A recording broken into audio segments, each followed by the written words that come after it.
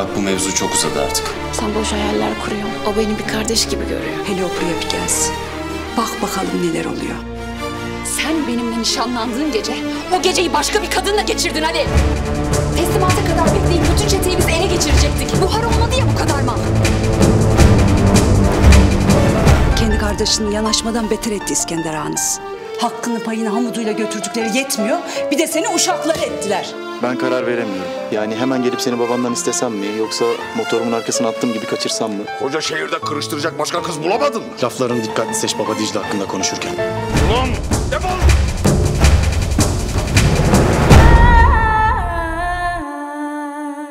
Aşktan kaçılmaz Eylül'de Star'da.